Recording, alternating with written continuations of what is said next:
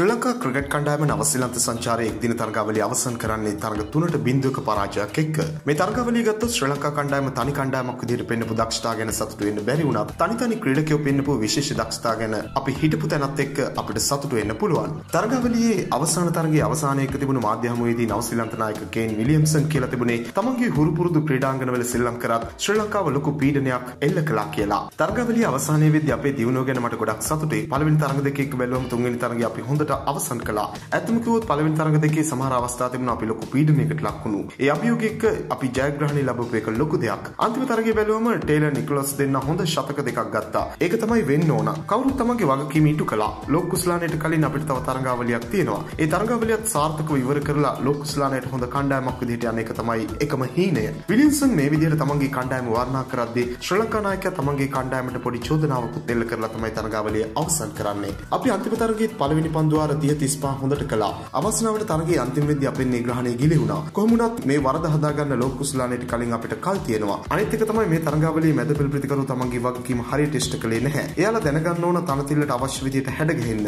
මම හිතනවා ඊළඟ තරඟාවලියට යද්දිවත් එයාලා ඒ දේ ඉගෙන ගනි. මේ විදිහට ප්‍රතිකරුවන්ට චෝදනා එල්ල කරපු මාලි පන්දුවේ මේ පැත්ත ගැනයි වැඩ පෙන්නපු අය වර්ණනා කරන්නයි අමතක කරලා තිබුණේ නැහැ. මම හිතන්නේ තිස්සරයි කුසලුයි දෙන්න මේ තරඟාවලිය හොඳටම කළා. පන්දු යවන්න ගත්තොත් ගොඩක් මදි. අන්තිම පන්දුවාර 15 දාන එක ගැන අපි තව ගොඩක් හිතන්න ඕන. මේ මම කණ්ඩායම තරගාවලියකට මෙහපු දෙවනි අවස්ථාව. ඇත්තටම ගොඩක් සතුටුයි. අපි කණ්ඩායමක් විදිහට ගොඩක් සෙල්ලම් කරලා තියෙනවා. නායකයා විදිහට අලුත් ක්‍රීඩකයන්ට මම දන්න දෙයක් කියලා දෙන්න ලැබෙන එක ලොකු සතුටක්. ওই විදිහට තමයි කණ්ඩායමේ නායකයෝ දෙන්න තරගාවලිය ගැන කියලා තිබුණේ. ඔයාලට තරගාවලිය ගැන හිතෙන දේත් කමෙන්ට් කරන්න. මෙවැනි වීඩියෝ දිනපතා බලන්න අපත් සමග එකතු වෙන්න. ඔබ තවමත් අපේ channel එක subscribe කරලා නැත්නම් දැන්ම අපිව subscribe කරන්නත් ක්‍රිකට් වලට කැමති ඔබේ යාළුවෙකුට බලන්න මේ වීඩියෝ එක share කරන්නත් අමතක කරන්න එපා. ක්‍රිකට් පිටියේ නැවුම් දෙස් සපරි තවත් අලුත් වීඩියෝවකින් හමු වනතුරු ක්‍රිකට් ලංකාවෙතින් ඔයාට සුබ දවසක්.